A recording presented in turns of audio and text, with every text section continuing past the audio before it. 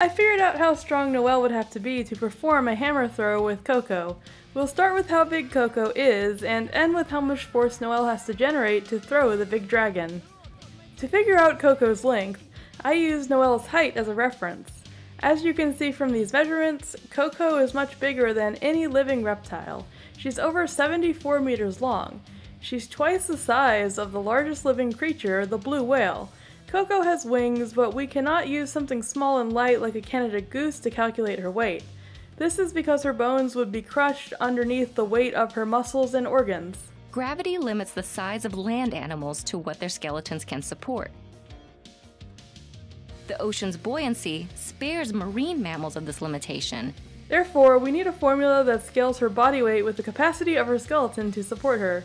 Granted, a real animal Coco's size could not exist on land. It disobeys physics fundamentals such as the square cube law. This is a mythical creature, so let's suspend disbelief and say it's fine. There's also no way that Coco could fly, so we're just gonna assume she uses magic.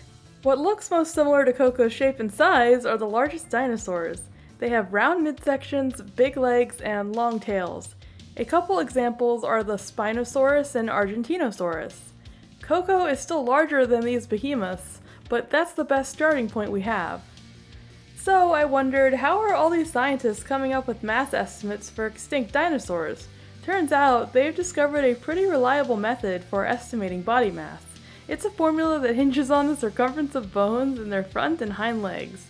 These bones are the humerus in the front and femur in the back.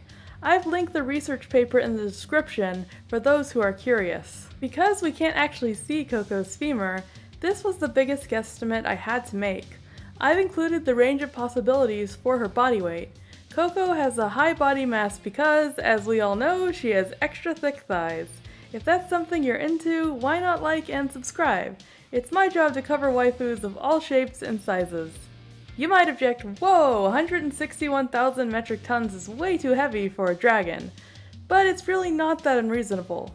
Godzilla weighs upwards of 90,000 metric tons in some iterations. Coco is a bit shorter than him, but she must just have thicker thighs. Even though she has four legs, I made the assumption that she only stands on her back too. Otherwise, her mass would be even greater according to this formula.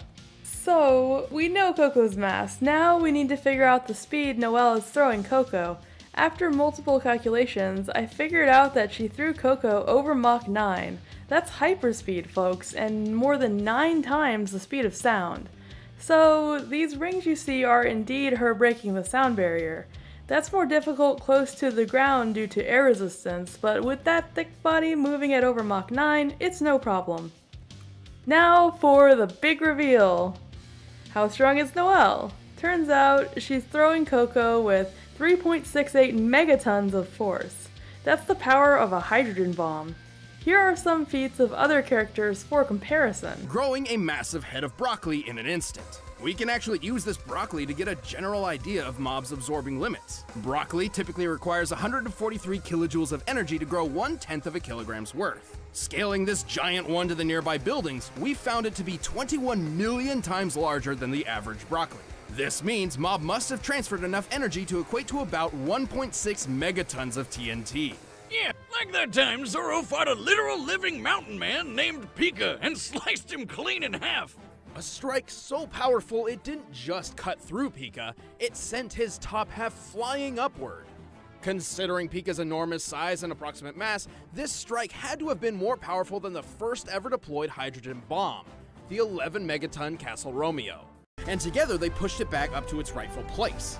This means Raven lifted more than half of the island's weight. The Titan's Tower Island is similar in location and size to Alcatraz, which has a width of 559 yards. Assuming the most likely granite composition and accounting for a 30% hollow interior, Raven's energy output would need to be about 14 million megawatt hours. What did we learn? Well, Noel can already really swing with the best of them, and she didn't seem to break a sweat. She can also apparently freely move through the vacuum of space, and she punched the Hololive office into Mars from an unknown location in two seconds. It's possible she is far faster and stronger than the feat we just examined. I'm really excited to see if Noel will have even more impressive feats in Hololive Alternative. Oh, as a side note, we also know Coco is durable enough to survive a 3.68 megaton force. It wouldn't surprise me if some Hololive members end up being stronger than the main characters of most franchises. You may have noticed that I didn't account for air resistance. I wasn't sure how to get the drag coefficient for Coco's shape.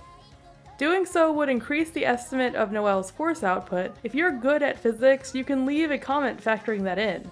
I have provided a link to my work in the description. A big shout out to my brother for pointing me in the right direction regarding which formulas to use for this problem. I also really appreciate my mom and him sitting down with me and helping me figure out how to approach it. This theory has been an excellent learning experience for me, and I hope you guys have also enjoyed it. This has been Waifu Theory, bravely analyzing your favorite waifus so you can watch without worry. If you enjoyed, you might also want to join my Discord. See you next time.